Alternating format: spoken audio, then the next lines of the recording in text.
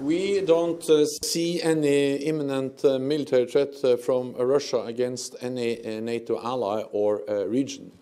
Uh, but of course, we remain vigilant. We monitor closely what Russia is doing, and we remain united. And we have military presence in this region with KFOR, with headquarters in Sarajevo, and actually also an office in Belgrade And we are ready to quickly reinforce uh, and to do what is necessary to, depend, to the, defend and protect uh, every ally against any threat.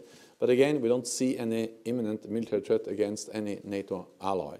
Влијание на трети земји, вклучително и руско влијание, постои во регионот и тие секогаш се во можност да пронедат своји истомистеници во поединци, во одредени политички партии и во одредени организации, меѓутоа сепак тие не се на ниту на приближно ниво на она што го поседуваат нашите институции, што го поседуваат земјите членки на НАТО и што го поседуваат нашите безбедносни служби, за да бидат во можност да направат било какво дестабилизирање на нашата држава.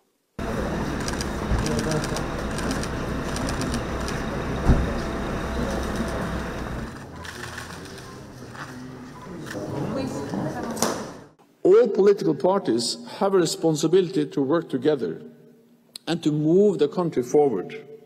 So I encourage you to persist as you did with membership of NATO and complete your journey to the heart of the European family of nations.